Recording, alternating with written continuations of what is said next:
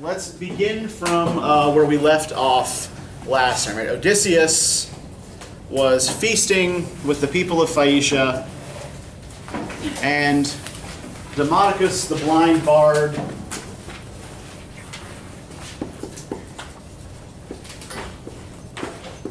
right, sings this song of the fall of Troy.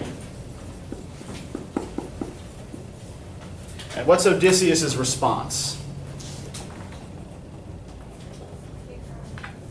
Pardon? Starts to cry. Yes, he begins weeping and pouring little drops out of his goblet of wine, right?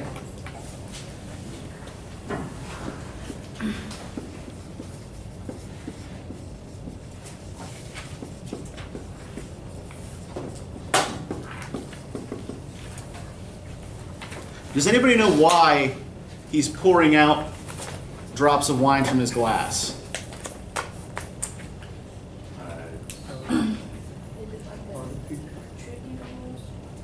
Exactly, yeah. It's a tribute to his dead friends, right? People still do this, right? People still pour out drops of alcohol in honor of dead friends, right?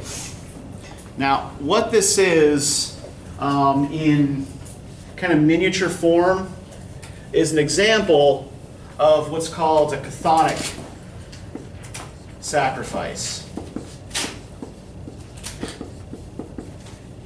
That's C H O N I C. You remember how we talked about um, normal forms of sacrifice um, in the ancient world, right? The, the way the Mesopotamians did it, the way the ancient Israelites did it, right? If you wanted to talk to the, to the gods in the sky, what did you do? You went on top of a mountain. Yeah, you went on top of a mountain, you built an altar, and you made your sacrifice there, right? So the smoke would go up to the sky gods, and they would receive it. If you want to talk to the gods that live in the earth, say the gods of the underworld, logically, what would you have to do? Dig a hole. Yeah, you'd have to dig a hole or pour things on the ground, right? So you want to talk to the gods in the sky, you send things up into the sky. You want to talk to the gods in the ground, you pour things on the ground. Right? We will see Odysseus um, do a sort of much more formal version of this when he actually goes to visit the land of the dead. But I just wanted you to sort of keep this in mind, right? That that's what is going on, right? That he's making an offering to the gods, to the spirits below the earth. Now, you may have noticed as well this little verbal formula that pops into the epic just about whenever Odysseus is about to say anything to his host here, right?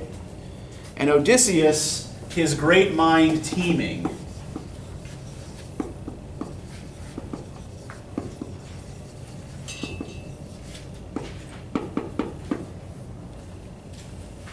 What do we know about Odysseus? What do we know about the kind of hero he is? He's a cunning. Exactly, he's a cunning hero. He's a trickster hero, right? He's not a hero who is noted for his forthrightness or his honesty. He is not a hero who's necessarily noted for physical strength, although he seems to have plenty of that as well, right? The, his main attribute is his cunning, his cleverness.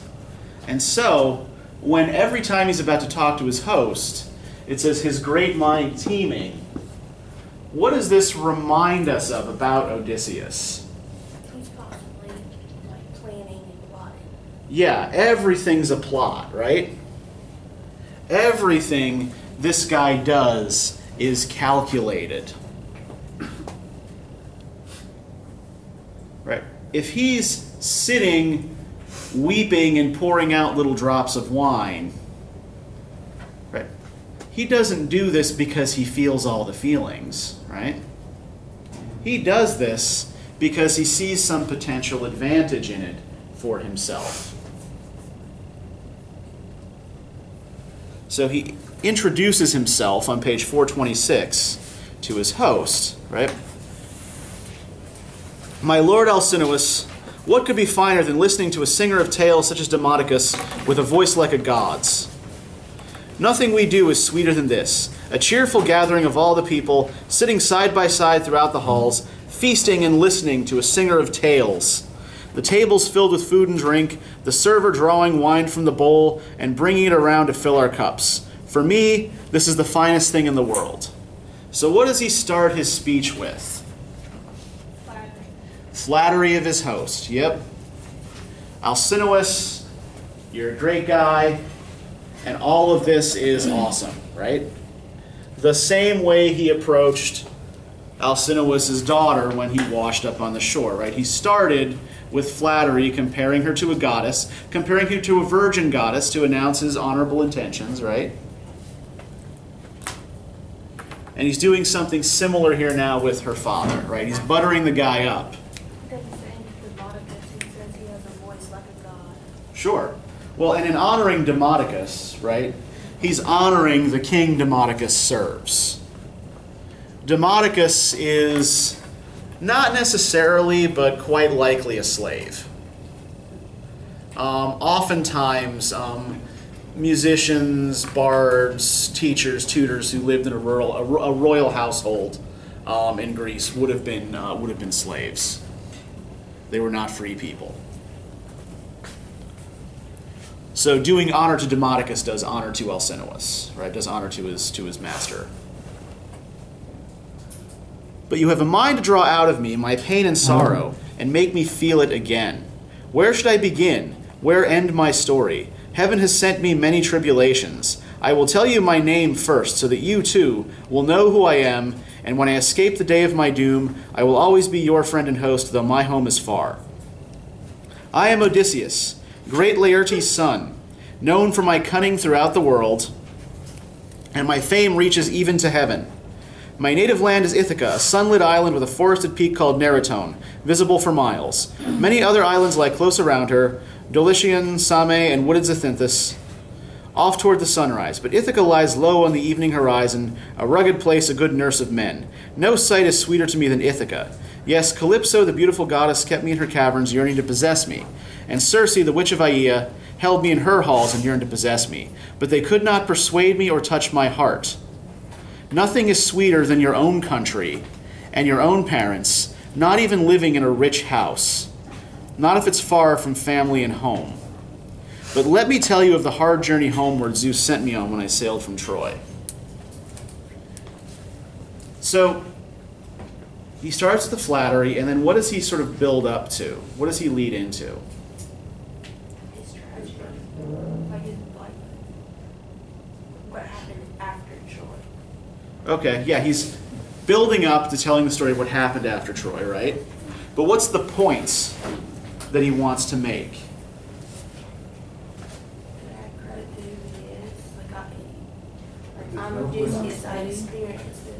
Yeah, the whole, you know, click your heels and get to Kansas thing, right? There's no place like home. There's no place like your own country. However interesting, however amazing other places might be. However good life could have been with Calypso or with Circe, right? It's not home. And remember what the basic unit of society was for the ancient Greeks. Do you recall from last time what, what they called that? What the word was for it? Yeah.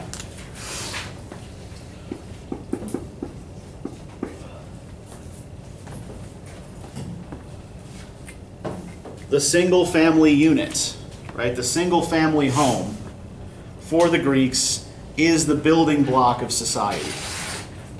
And what we get in Odysseus's journeys throughout sort of the remaining books in the story that he tells to the Phaeacians. Do we have any way, by the way, of verifying that his story is true?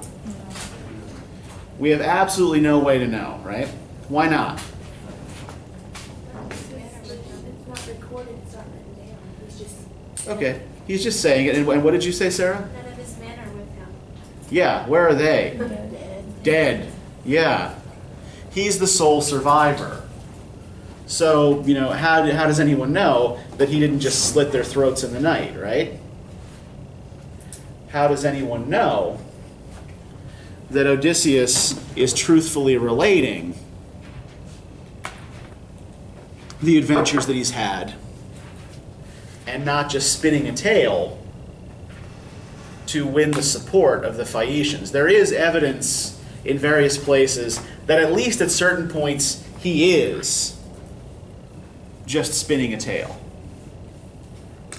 Or he's just telling the Phaeacians what they want to hear. But we'll get to that a little later. So, yeah, so the, the important thing, the thing that Odysseus wants, you know, the, the point of Odysseus's Nostos. Anybody remember what Nostos means? What was Nostos? It's the same, right? It comes, it- nostalgia. This is the root word of nostalgia, right? What does what does nostos mean itself, though? Return. Exactly. Yes. So, nostos in this case is return to the original oikos, to the original family home. So then we get a sort of um, a list of Odysseus's various adventures, right? He goes and he conducts a raid on these people called the Cicones. Now, this is a real, all right, this is a real nation, a real tribe. They're allied to the Trojans during the Trojan War. But at the time Odysseus attacks them, the war is over. And his ship is already laden with spoils from Troy, right? So his attack on these people is really just kind of greedy and spiteful. And it gives him a chance to sketch out the bad character of his men as well, right? From Ilion, the wind took me to the Cicones and Ismaros. I pillaged the town and killed the men. The women and treasure that we took out, I divided as fairly as I could among all hands, and then gave the command to pull out fast. That was my order, but the fools wouldn't listen. They drank a lot of wine and slaughtered a lot of sheep and cattle on the shore. Some of the town's survivors got away inland and called their kinsmen. There were more of them, and they were braver too, men who knew how to fight from chariots and on foot. So the raid ends up being a disaster. But whose fault is it? It's the myth. Is it ever Odysseus's fault? No, it's never his fault when things go wrong, right? It's almost always blamed on one or more of his subordinates who aren't here to defend themselves. Right? Oh, if only he if only he'd had better men. But this adventure with the Cicones is the last real world location Odysseus visits on his way home. This is the last identifiable place that he visits on his voyage.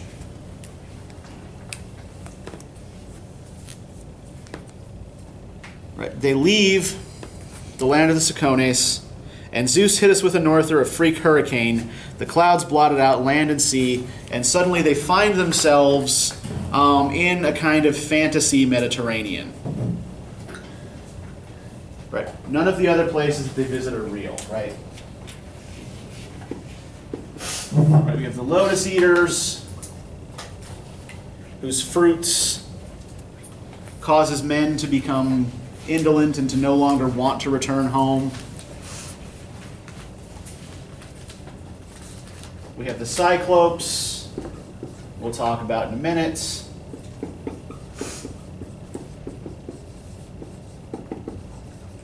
The Isle of the Winds.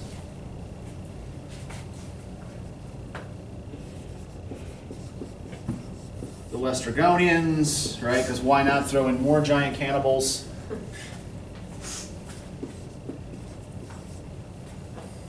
and the adventure with the sorceress Circe. So let's move on to talking about the island of the Cyclopes. What's did you know, did you notice anything about the way Odysseus describes the island when he first arrives there? That they don't, like, if Zeus provides everything for the second, Yeah, like they don't have to do anything. Yeah, they don't really have to do very much, right? The land just provides. If you look on page 428, we sailed on, our morale sinking, and we came to the land of the Cyclopes, lawless savages who leave everything up to the gods.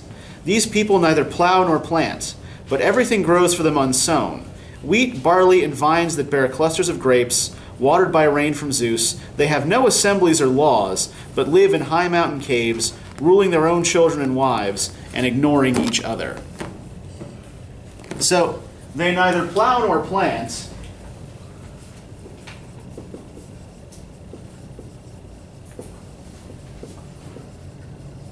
Does this mean that they don't work at all?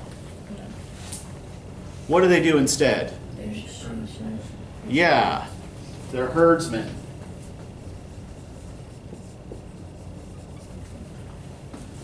They herd sheep and goats.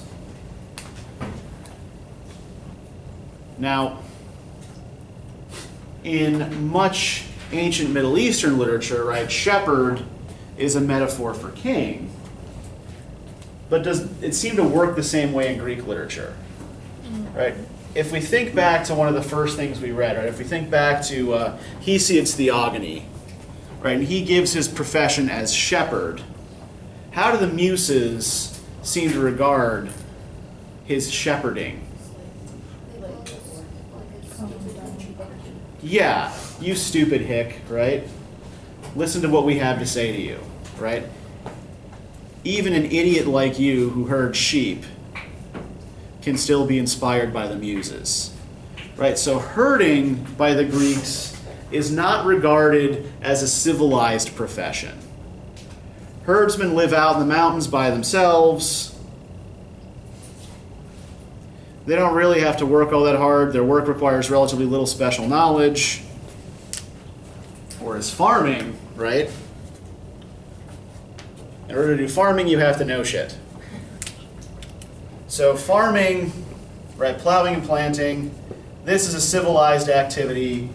Herding is an uncivilized activity.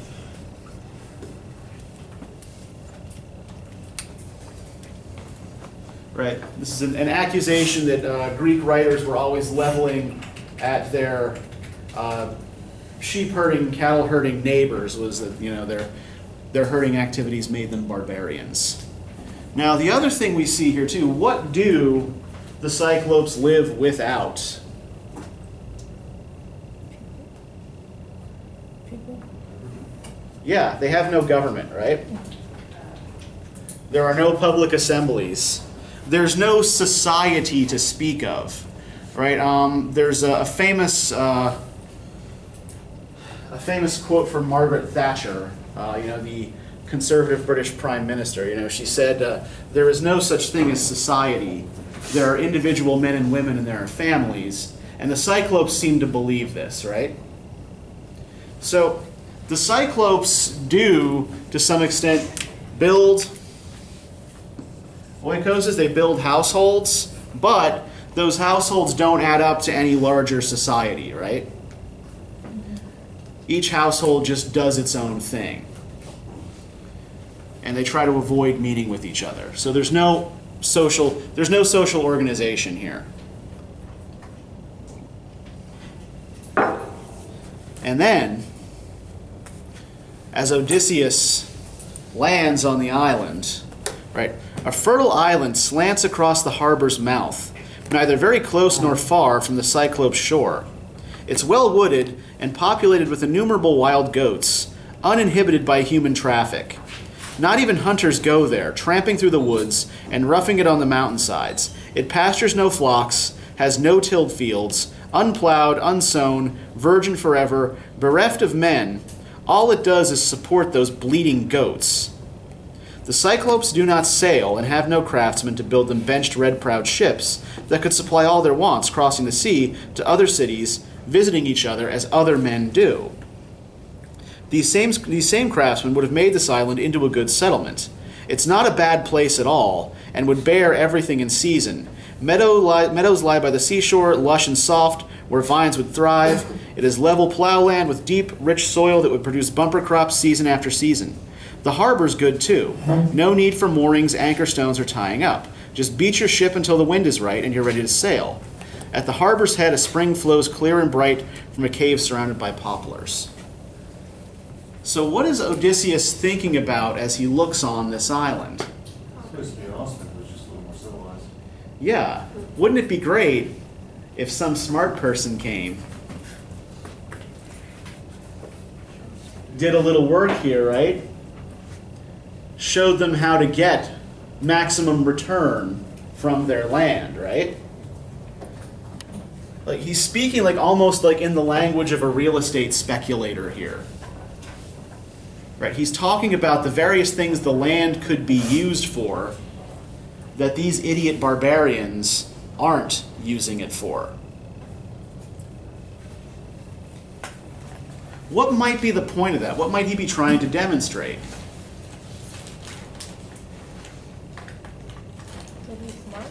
He's smarter than him? Yeah, he's smarter than they are. What makes him smarter than you? Yeah, Larry. Uh, I was just thinking about his greed. Pardon? I was just thinking about his greed. Okay, yeah. He is a greedy, greedy bastard, right? He is always hungry for gifts, hungry for treasure, hungry for spoils, right? So, this is one more way in which he is demonstrating his greed, right? But what he's also showing here is a level of cultural chauvinism. Right? These people aren't making this island work because they're barbarians. If a group of proper Greeks showed up here and took this place over, then then we'd really see something, right? Then the economy would thrive. Um, seems to spend a lot of time at uh, operations. The people he's talking to, Mm-hmm. they're shipbuilders. They mention it several times. Yeah. And he spends a lot of time, a lot of time discussing how Cyclops don't have any ships. They don't build any ships. Uh-huh. And but they have a really awesome harbor just sitting there. Yeah. Wouldn't it be great if somebody took advantage of that? Well, you know, and, and the whole shipbuilding thing too is like, look, I mean, I don't know how much you guys know about the geography of Greece. Shipbuilding was important. Shipbuilding was extremely important. Yeah, I mean, it's basically mountains, two peninsulae, and islands, right? Lots and lots of islands. Um, so it's kind of hard to get around if you don't have ships. Not only that, but sea power was vital to any city state that wanted to be politically important, right? You had to have a good, strong navy. So shipbuilding is for the Greeks another one of these kinds of measures of civilization, right? Civilized people, i.e., Greeks, build ships. Now, when they meet the Cyclops, right, we already know, okay, he lives in untamed land, he's a herdsman. What else indicates that he's not civilized, apart from the fact that he eats people? Right, that's the obvious. He lives in a cave. Okay. have. Yeah, okay, yep. Lives in a cave, not a house. Why does Odysseus wait around in this creepy cave, apart from the fact that it's full of cheese and you know it's like, hey, free food? He wants to see if um, the Cyclops will be like, will show him hospitality. Yeah, he wants to see if the Cycl- if the Cyclops is going to give him gifts, right? Which is what you're supposed to do when a guest shows up in your house, if you actually follow Greek customs. Right. So this is just one of those tests of civilization. Now the Cyclops does not give gifts, right? The Cyclops kills and eats people. Oh, he does give one gift. He says, "I'll eat. I'll save Okay, you yes. I'll eat you last, yes. he, he gives Odysseus that gift in return uh, for telling him his false name, right? I'm giving him wine. And giving him wine, yeah. Yeah, uh, keep the wine in mind for a second. Yeah, so there's the, the cave, no gifts, and the thing about the wine. I don't know how much any of you know about Greek wine, but um, essentially what it was. Um, how many of you ever had like at a like at a birthday party when you were a kid, like like that syrupy concentrate juice that you have to pour into water to make it drinkable? Okay, Greek wine was actually like that. It was a concentrate that you had to mix with wine. Or had you mix with water. No, you don't mix it with more wine. You had to mix it with water. Um, if you did not mix it with water, then you were just imbibing like an incredible amount of alcohol, right? An incredibly powerful concentrated burst of alcohol. So the Cyclops, does he bother mixing the wine before he drinks it? Yeah, the fact that he drinks the wine unmixed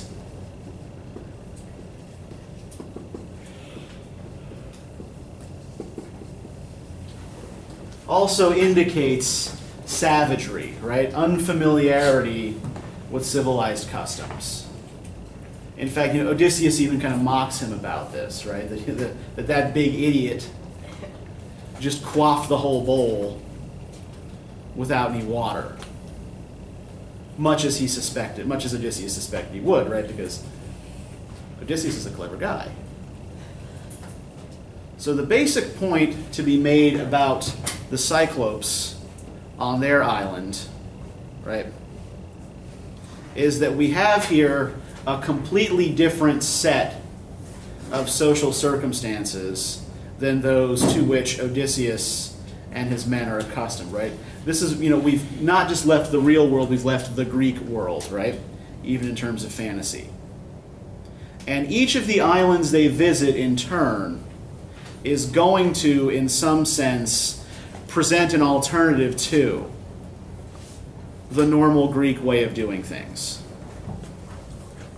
So if we turn, uh, for example, to the beginning of Book 10, right, the Island of the Winds, page 438. We came next to the island of Aeolia, home of Aeolus, son of Hippotas, dear to the immortals. Aeolia is a floating island surrounded by a wall of indestructible bronze set on sheer stone. Aeolus' twelve children live with, there with him, six daughters and six manly sons. He married his daughters off to his boys, and they all sit with their father and mother, continually feasting on abundant good cheer spread out before them. Every day the house is filled with steamy savor, and the courtyard resounds. Every night the men sleep next to their highborn wives and blankets strewn on their corded beds. We came to their city and their fine palace, and for a full month he entertained me. Right, so what do we notice about the island of the winds here? What's weird? Okay, yeah. That there don't seem to be very many people here, and the brothers and sisters are all married to each other. Now, incest was a taboo among the ancient Greeks, but it was not among a lot of their neighbors. The Egyptians, for example, particularly in noble families, tended to marry as close to the line as possible. Right, you know, you would often have, particularly in the royal family, brothers married to sisters in uh, ancient Egypt. Right, the idea was to try to keep the royal bloodline as pure as possible and to prevent there being rival claimants for the throne. Now, the other problem that this led to was, uh, you know, they didn't understand genetics, um, so they didn't get um, that. Oh, you're, you're actually, uh, yeah, you're just asking for various uh, genetic disorders. Yeah, Darius. Didn't that happen with King Tut or something? Um, maybe. Um, it, it, it certainly happened uh, with uh, the pharaoh who was uh, believed to be either Tut's father or grandfather, Akhenaten. Like, if you look at statues um, of Akhenaten, right, most statues of Egyptian rulers are kind of idealized. Um, Akhenaten statues show a really weird looking dude uh, with a lot of recessive genes. And yeah, all of the, but yeah, um, King Tut himself may have had uh, I think they believe he may, may have had some kind of spinal disorder. He had several. Uh, He had club legs. Yeah. And then one like hips, cleft palate. Club foot, scoliosis. Mhm. Well, and, and yeah, and, and this this would have been like there was um in some uh, in some European noble families in the Middle Ages, even um, schizophrenia was a mark of considered a mark of nobility. So, you know, so the, these practices did these practices didn't necessarily die with the Egyptians, right?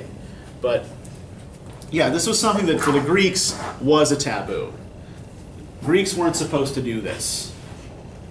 Right? Brother sister marriage is not okay.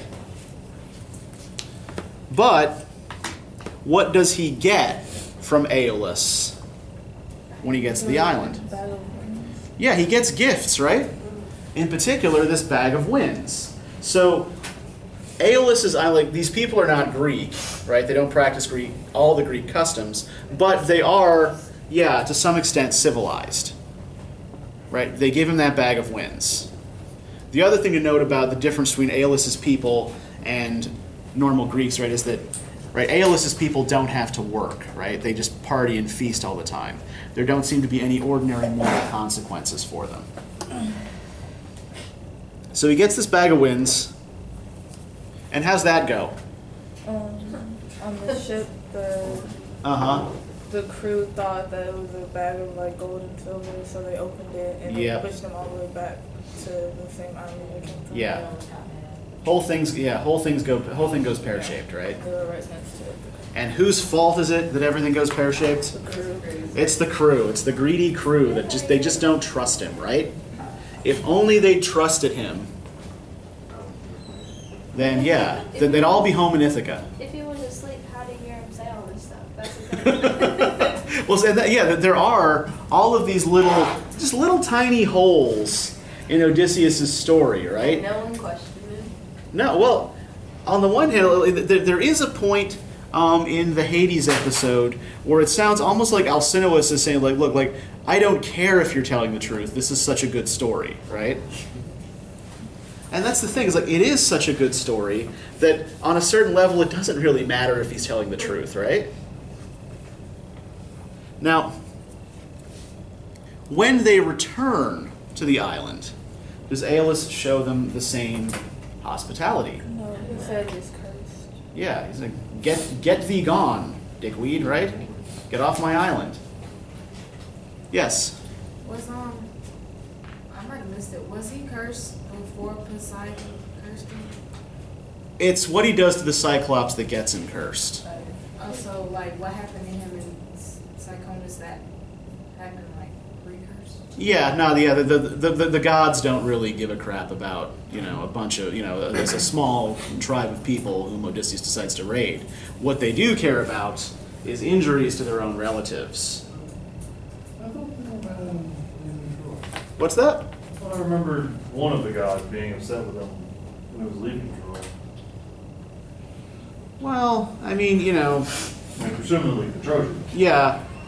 Well, you know, I mean, the, you know, Troy, Troy was also was Troy was fated to fall either way. Like this, this is actually another thing to note. I'll get to you in a second, there, Chris.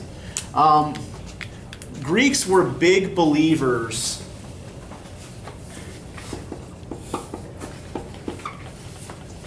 In fate, right? It was personified as three goddesses um, who wove out the thread of your life, right? The um, Clotho, the weaver, wove the thread.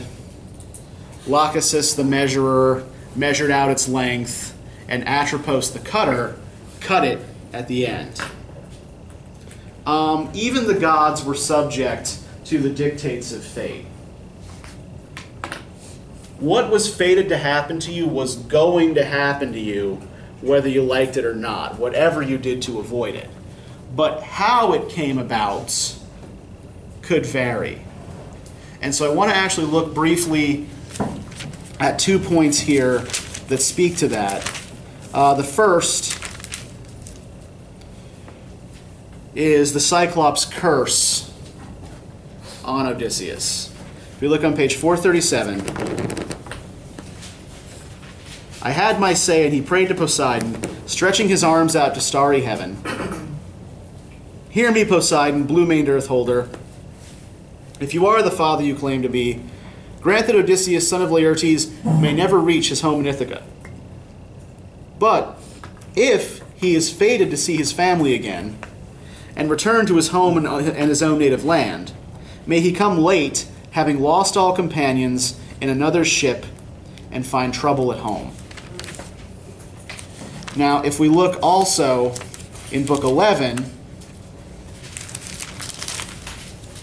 on page 453, Tiresias' prophecy.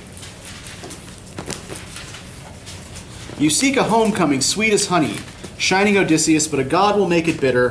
For I do not think you will elude the earth shaker, who has laid up wrath in his heart against you, furious because you blinded his son. Still, you just might get home, though not without pain, you and your men, if you curb your own spirit, and theirs too, when you beach your ship on Thrinacia. You will be marooned on that island in the violet sea, and there find there the cattle of Helios the sun and his sheep too grazing. Leave these unharmed, keep your mind on your homecoming, and you may still reach Ithaca, though not without pain. But if you harm them, I foretell doom for you, your ship, and your crew. And even if you yourself escape, you will come home late and badly, having lost all companions and in another ship. What do you notice about these two prophecies? What are they full of? Okay, what's similar about them? Um, he'll arrive home late without any of his companions. Okay. How much trouble when he gets there? He will, he'll, he'll experience a lot of trouble and pain because of it. Mhm. Also, he's not very smart. Like, he's clever, but his men beg him, please don't yell. He yells, I'm Odysseus, I'm from Ithaca. Uh huh. And then he gets cursed. So Yeah, and but this is also a way he can explain his reluctance to reveal his name Mhm. to the Phaeacians immediately, right? Well, last time I revealed my name to somebody, it didn't go so well. but what else is similar? Just on the level of language, is there a particular word or type of word that recurs a lot in these two prophecies?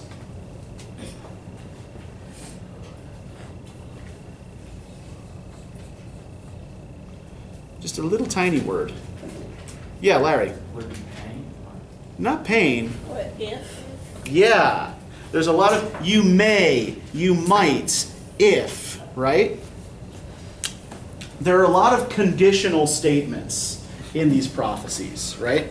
If you do this, then this. If you don't do this, then this, right? So the ultimate end is known, right? The ultimate end is already determined by fate. But there's all sorts of other stuff that could happen as you try to work your way there.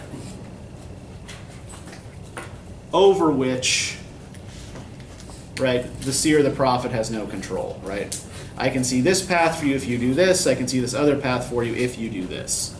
I'm sorry. What, so what were you going to say, Chris? I'm sorry. That, Oh, no, no, so, so you already pointed out how stupid that he said his, you know, name, you know, especially where he lived and stuff. uh huh. But, um, since you already mentioned, like, mentioned that the gods and this kind of like, that these stories aren't really omniscient, do you think it's possible that if you didn't say it, you could still been cursed? Like, say that there was a prayer offered up that whoever did this be cursed, or does it not work? Um, yeah, I, I mean, I, I guess it could, yeah, but um, offering up his name gives the Cyclops a very specific focus. Um, and it makes it much more likely that the curse will be uh, will be heard and enacted, right? So yeah, um, probably not the smartest thing Odysseus ever does in his journeys. But again, there's a reason for every little tale he tells, right? And we can never be certain that he is being entirely honest. And at certain points, we can be fairly certain that he's not being entirely honest. All right, so we go from the Isle of the Winds. Oh, um, last thing about the Isle of the Winds. So he returns, and Aeolus tells him to go away. Should Aeolus have shown him hospitality a second time? Yeah, He has no obligation to do so, right? If you offer someone hospitality and they do something to muck it up, you are not then required to offer it again. Right? He already gave Odysseus a pretty great gift.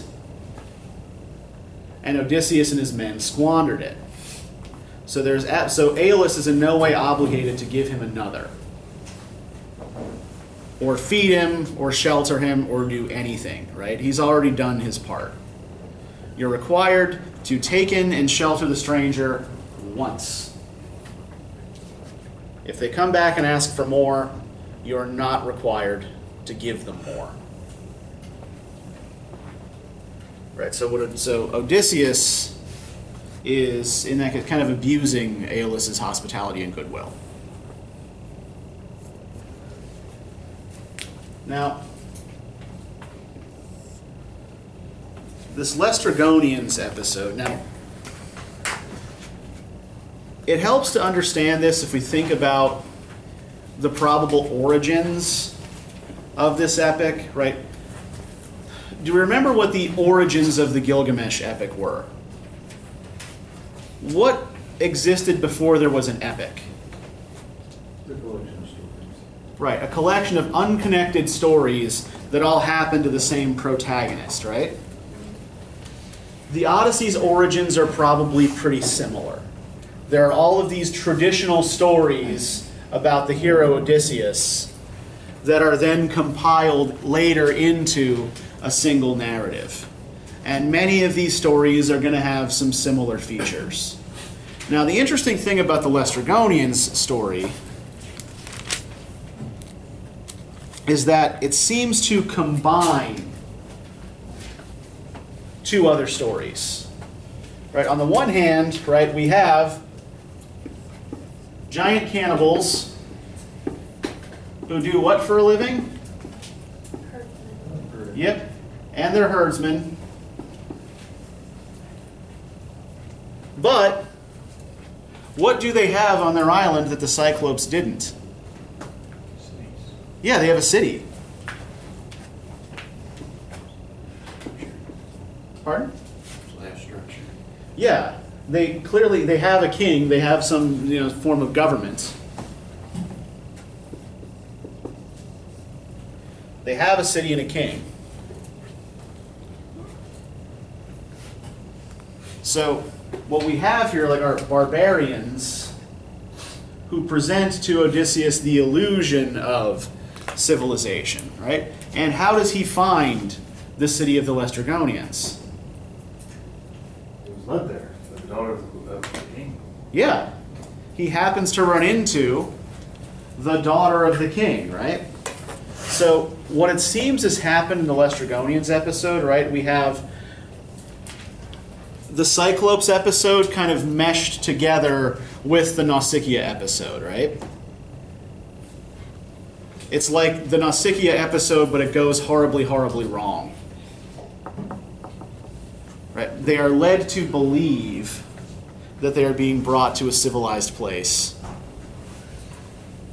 And then, of course, more men end up devoured.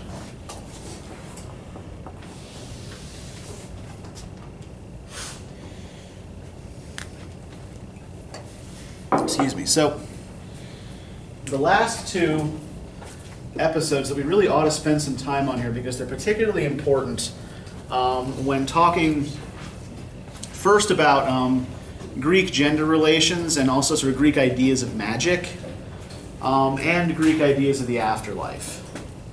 Right, so what did you think of the Circe episode? Did you notice anything particularly interesting or weird there? She had a wand. What's that? She had a wand. Okay, yeah, she has a wand. And what does her wand do? Turns men into pigs, yes. So we know that Circe has the power to turn men into animals, right? What else does she have? What does she have working in concert with the wand? She has the drug. Yeah, she's a, the, the, the drug in a cup, right? So yeah, she's a cup and a wand. Now, these are important as gendered symbols, right? A wand, right, is a phallic symbol. Represents masculine energy, masculine power. A cup is what's called a yonic symbol. An yonic symbol is essentially the opposite of a phallic symbol, right? A yonic symbol is, you know, a representative of feminine energy, feminine power. So usually, like if you see objects in myth that are long, straight, and typically wielded as weapons, those are going to be phallic symbols. It's like when Get What's that? It's like when Get Out, the uh, lady had the teacup on the movie. Teacup. What? On Get Out. Oh, I haven't seen. I haven't seen that yet. Oh. well, Oh. Yeah, she had a teacup. Okay. tipped in front of people. So yeah, anything like, like a cup, anything that's sort of like, you know, concave within, right? Cups, cauldrons, things like that. Those are those will be often be yonic symbols. Yes. would that be kind of like a symbolize of like a stomach, like if you were giving birth, kind of like that? Exactly. Yeah. It, it, it's it's a it, it's a womb symbol basically. Yeah. Yeah. Pardon? So thank you, Dan. Yeah. Let's not go thanking Dan Brown for anything.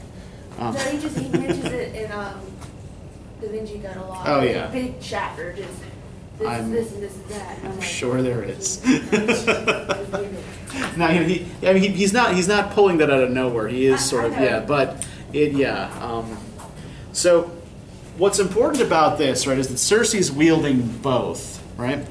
Are there any men who are not transformed into animals on Circe's island Odysseus and uh, wasn't it? before they get there? No. It's Yeah, before they get there, it's an it's an all female society, right? yeah. all women.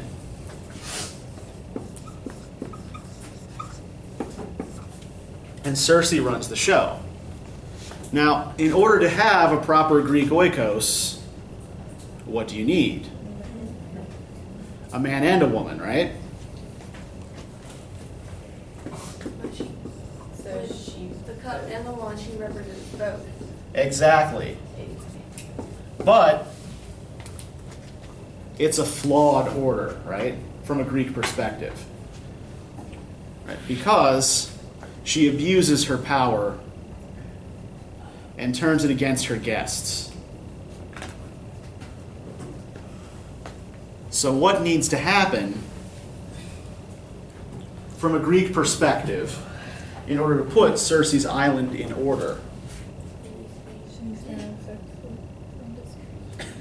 Yeah, essentially, yeah. Odysseus has to come in and master her, right? Right, I mean, let's think about it. You know, Hermes, a god, not the usual helper of Odysseus, right? Odysseus's usual ally is the goddess Athena. But in this case, the god Hermes shows up, tells him where to find the magic herb, and tells him what to do to defeat Circe, right? And essentially, what does he have to do to defeat Circe? have sex with her and have her promise not to harm him or his men. Yep. And he does all this using what? The His sword. Yeah. Right? Another phallic symbol. Right? He is always referring to the sharp sword that hangs by his thigh, right? If you uh, if you miss what's going on there at all. Oh, wonder. Every, every, every time you see a sword in any type of evolution, people are always trying to make the argument that it's a phallic object. Sometimes a sword is just a sword. No. What about soldiers that have curved swords? Hmm. Because there's a lot of swords in a lot of different shapes and sizes in the world. And a lot of them have some pretty steep curves. That that is true, and you know, I, I have actually never thought about that. I'm not sure it's relevant to the current example Oh. because a Greek sword certainly would have Yeah, been, it's yeah, Straight. and yeah, Rather small in comparison to a lot of other swords. indeed.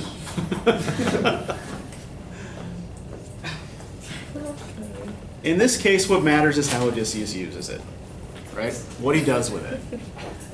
And what he does with it is create a normal oikos, right? A normal functioning oikos from a Greek perspective, right? Once he comes in there and frees his men, right? Makes Circe take the oath and becomes the man of the island for a year. She stops doing the things that she was doing, right? That were offensive to Greek sensibilities, right? Right. He, you know, he he's, he comes in and he masters the goddess, and her house is now his. And that's the, the basic point here is that what Odysseus has been brought here to do is create a normal oikos. That's the point of him landing on this island. Now, another thing um, to notice as well, like for someone who seems to just really, really want to get home to his wife, um, Odysseus doesn't really seem to have a lot of qualms about having sex with other women, right?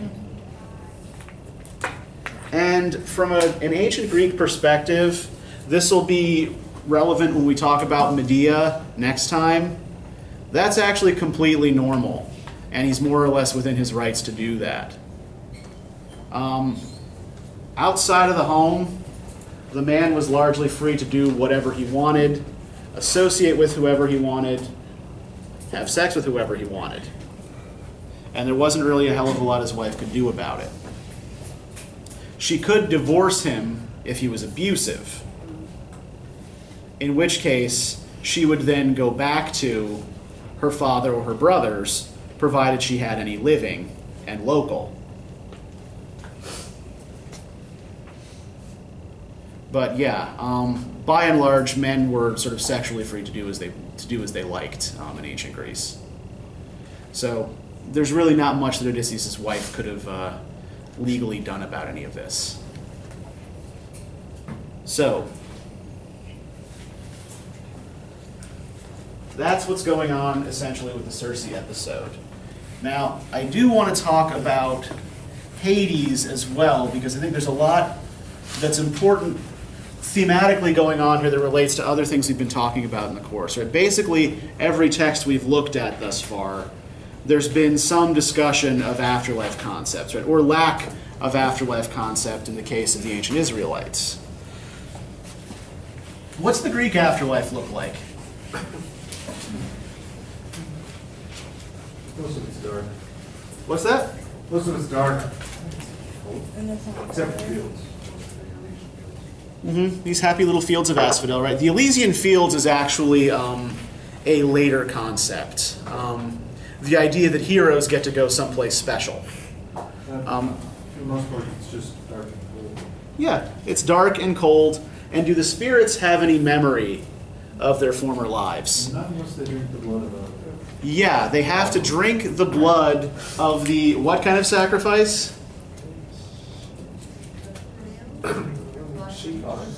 Chthonic sacrifice, yes. He has to make that chthonic sacrifice. Right, he has to dig a pit, slaughter a ram and a ewe that are positioned in a particular way, and let the blood drain out into the pit, right? And then he has to keep the spirits away with his sword until he's ready to let them speak. Yes. Was it the Greek who put the coin under the tongue? Yes, although that is also a, a later tradition. Um, Romans did it too. Um, the Roman afterlife is basically a continuation of uh, Greek ideas. Um, much of Roman religion is uh, sort of adaptation from or to um, Greek ideas. Um, but yeah, um, the typical funeral practice uh, for Greeks in this particular period uh, was burning the body um, with their grave goods, right? So you would put the body on a pyre, burn it, and that frees the spirit to then go down into uh, the underworld. This is why, you know, um, Elpenor, uh, Odysseus' comrade, whom they didn't even realize was dead, and they found here, right? He broke his neck falling off a roof on Circe's island, right? he is chastising Odysseus because he hasn't been buried yet. He hasn't had a proper, or not, he hasn't been burned yet. He hasn't had a proper funeral, and he can't genuinely cross over and become like these other spirits until he's had a proper funeral. But yeah, with the exception of Tiresias, these shades have no memory of their former lives unless they drink the blood. Now, why, why blood? Pardon? Well, yeah, a dead body doesn't have blood. That represents like life. Yeah, exactly. This is a kind of substitute life, right? They drink the life of the sacrifice, and it temporarily regenerates them so that they can once again communicate with the living. And when they do communicate,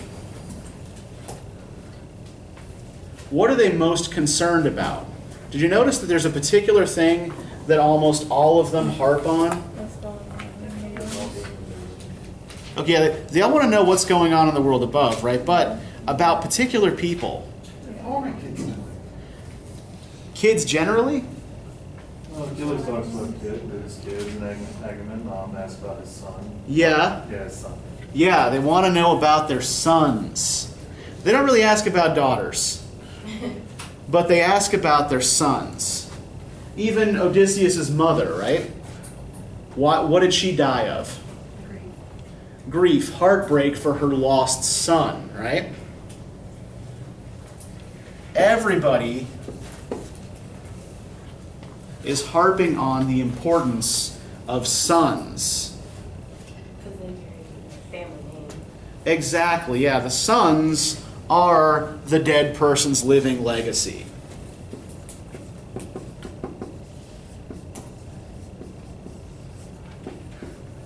They carry the name, the values, the goods, whatever of the parents on in the world above. Right, so in the Mesopotamian afterlife, the important thing was to be remembered up above, right? For the Greeks, the more important thing is to have living male descendants, right? To actually have your bloodline carried on in the world above. This is your actual legacy.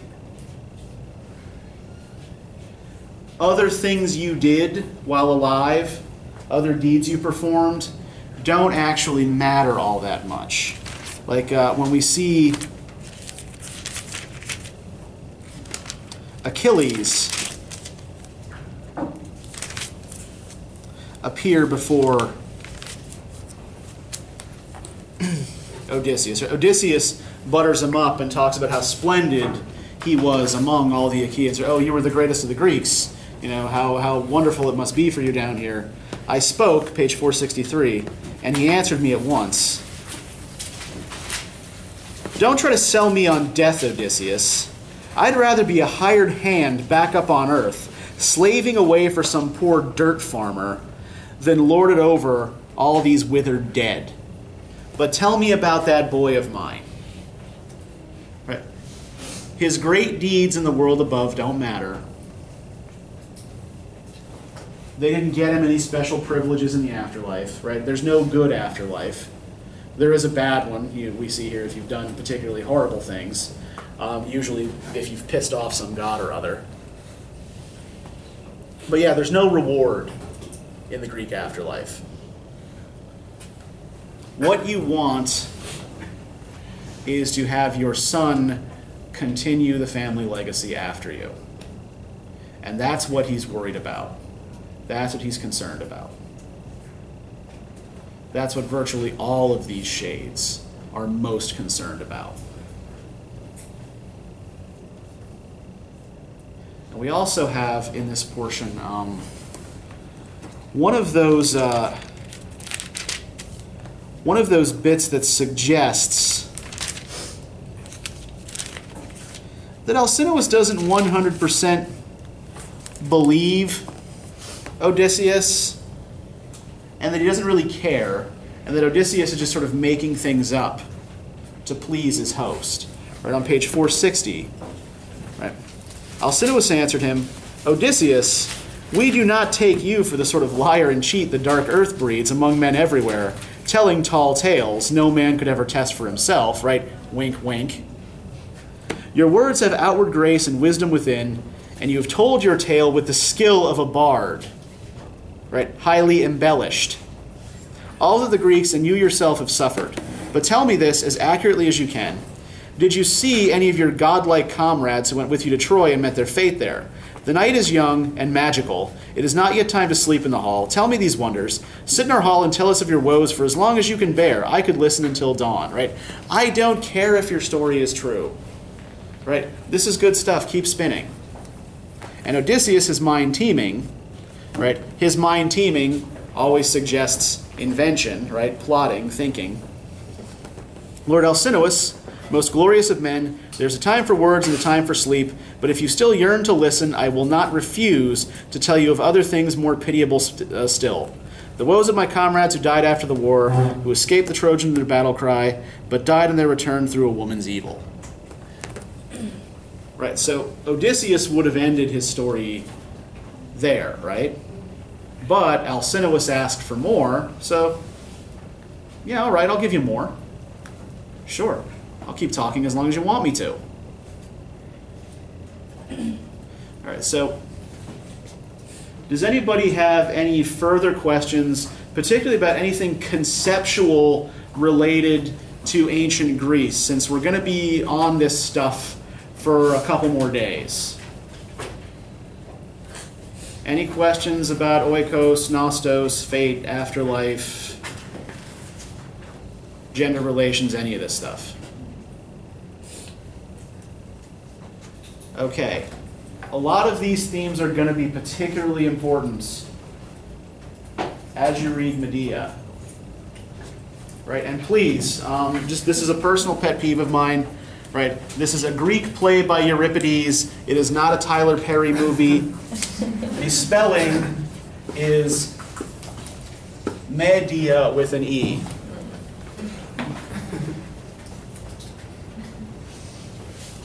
right, so let me just call up reading questions, which are, ought to be here somewhere.